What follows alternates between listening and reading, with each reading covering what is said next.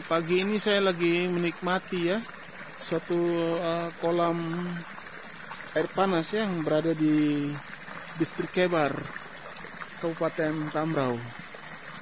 Sini saya rendam kaki sedikit ya, untuk menghilangkan keletihan ya, selama perjalanan jauh.